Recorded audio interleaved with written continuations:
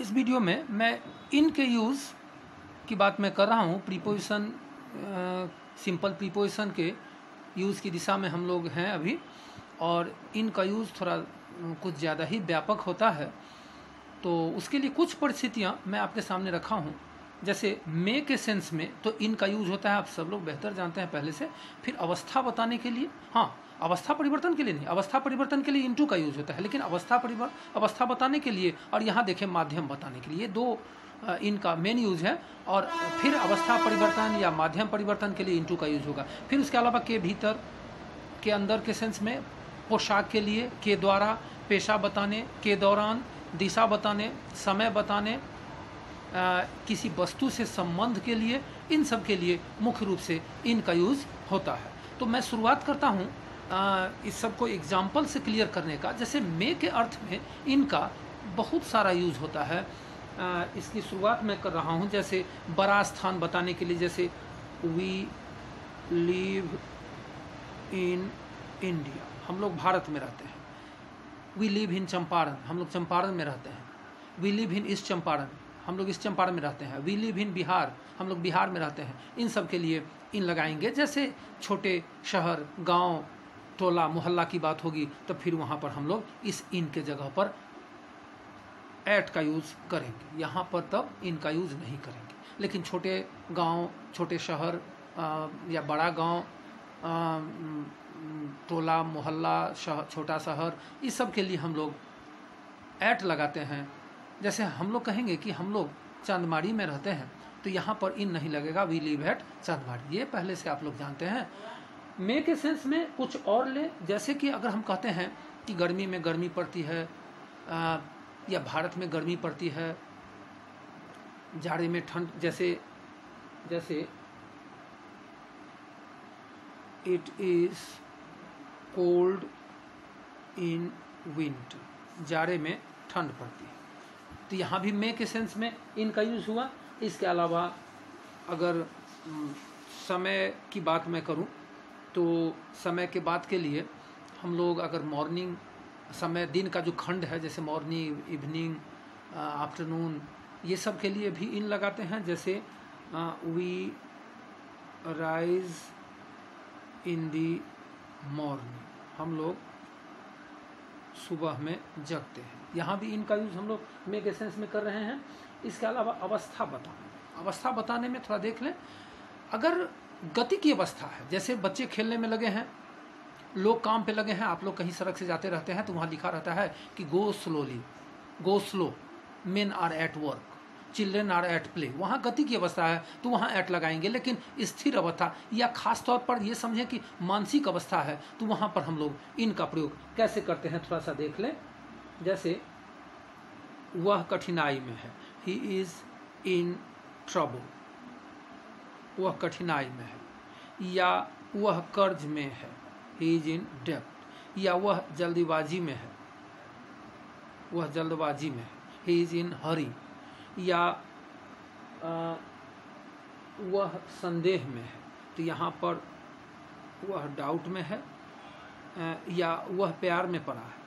यहाँ पर भी हम लोग इन लगा रहे हैं। तो ये जो मानसिक अवस्था है और या स्थिर अवस्था है तो इन सब के लिए हम लोग इनका यूज़ करते हैं। फिर इसके बाद आता है आ, में से अगर निकलते हैं अवस्था से निकलते हैं के भीतर। जैसे हम कहते हैं कि साल में बारह महीने होते हैं तीन सौ पैंसठ दिन होते हैं सप्ताह में सात दिन होते हैं तो उसमें के लिए भी हम लोग जैसे there are seven days in a week. सप्ताह में सात दिन होते हैं। उसमें के लिए भी हम लोग इनका यूज़ करते हैं के भीतर के सेंस में, के भीतर के सेंस में। अब पोशाक के लिए। पोशाक के लिए देखें हम लोग। अगर हम कहते हैं कि वह धोती कुर्ता में है, वह साड़ी में है, वह कुर्ता पैजामा में है, या वह सिल्क में है, वह कॉटन में है, या वह रेड में है, जैसे कभी ऊपर से नीचे तक हमारी माँ बहनें मैच करती हैं कि लाल रंग का सब कुछ होना चाहिए। नेल पॉलिश तक मैच करा लेती हैं, चप्पल तक। तो वहाँ भी सी इज़ इन रेड ऐसा लिख सकते हैं। She is in blue she is in you know green तो ये जैसे ही इज़ इन धोती कुर्ता। वह धोती कुर्ता में she is in sari she is in silk she is in cotton समझ रहे हैं आप सब लोग? तो यहाँ पोशाक के सेंस में इनका प्रयोग बड़े पैमाने पर होता है। फिर इसके बाद यहाँ पर है पोशाक के बाद के द्वारा के सेंस में। के द्वारा के सेंस में। आप देखिए, अगर हम लिखते हैं, मैं कलम से लिखता हूँ तो वहाँ पर विथ लगाएँगे। लेकिन अगर हम लिखते हैं कि मैं स्याही से लिखता हूँ तो यहाँ पर हम लोग इन। चूँकि स्याही का संपर्क हाथ का नहीं है, स्याही में खुद लिखा था अक्षर, इसलिए हम लोग इन का यूज़ यहाँ पर करते हैं। एक चीज़ और, पेंसिल के लिए हम लोग विथ का भी प्रयोग करते हैं और इन का भी। अगर ए पेंसिल देंगे तो विथ लगाना पड़ेगा। क्योंकि ए पेंसिल कहेंगे तो वो लकड़ी का जो बना हुआ पेंसिल है, उस तरफ़ ध्यान हो जाएगा। और सीधे पेंसिल, ए नहीं लगाएँगे पेंसिल के पहले, सीधे पेंसिल बोलेंगे तो उसका सेंस आ जाएगा कि लकड़ी के अंदर जो ग्रेफाइट का, काले रंग का वो पतला सा जो छर नुमा गया हुआ है तो उसके तरफ़ इशारा कर रहा है, जो अनकाउंटेबल है। रीजन क्या है? वो अनकाउंटेबल है। और अनकाउंटेबल के पहले हम लोग इन, जैसे कोयला अनकाउंटेबल है, मिट्टी अनकाउंटेबल है, वैसे ग्रेफाइट का बना हुआ, जो काले रंग का उस लकड़ी के अंदर गया हुआ है, वो भी अनकाउंटेबल है। इसलिए उसके पहले ए नहीं लगा और उसके लिए हम लोग जैसे स्याही के लिए इन तो उस पेंसिल के लिए भी इन। लेकिन ए पेंसिल हो गया तो उसका इशारा लकड़ी की तरफ़ हो गया, तब वहाँ विथ का प्रयोग हम लोग करेंगे क्योंकि उसका साथ हाथ का तो रहता ही रहता है। चलिए, अब के द्वारा के लिए हो गया और पेशा बताने। जैसे वह पोस्ट ऑफ़िस में है रेलवे में है या आर्मी में है, जैसे he is in army he is in the लगाना पड़ेगा। दी आर्मी वह आर्मी में है। यहाँ पर भी हम लोग इनका प्रयोग करेंगे। तो यहाँ पेशा बताने हो गया के दौरान, जैसे हम कहते हैं कि 2005 के दौरान काफ़ी ज़्यादा सड़कें बनी थी हमारे बिहार में, सब हुआ था तो बिहार कुछ प्रोग्रेस किया, उसी को लिख लेते हैं।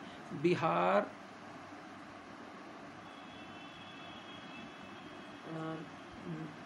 made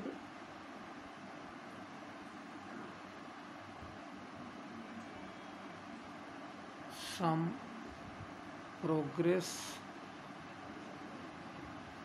in 2005 देखिए बिहार कुछ विकास किया 2005 के दौरान। तो यहाँ के दौरान के सेंस में भी हम लोग इनका यूज़ किए हैं। के दौरान के दृष्टि से भी हम लोग इनका यूज़ कर रहे हैं यहाँ पर।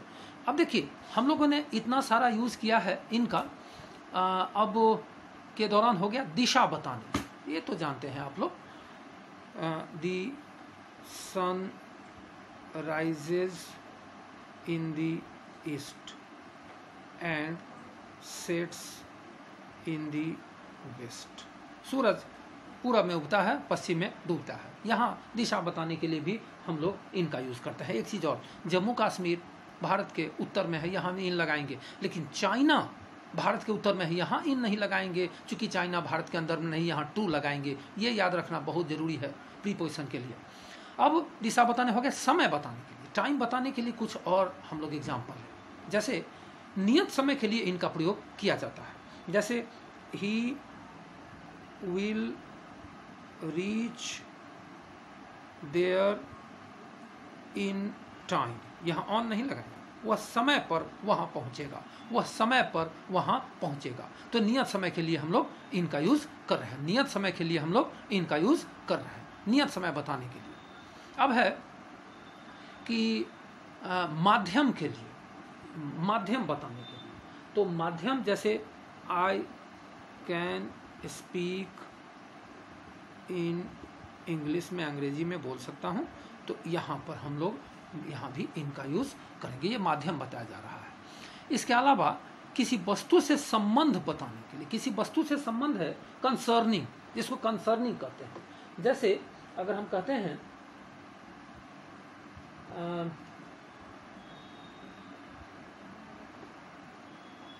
बिहार बिहार से ज़्यादा तो यूपी है। बिहार लिख दें। बिहार इज़ रिच किस चीज़ में रिच है? In food grain food grain खाद्यान्न में बिहार समृद्ध है। तो ये मुख्य यूज़ इनका है। आ, बाकी प्रीपोजिशन का यूज़ अगले वीडियो में। Thank you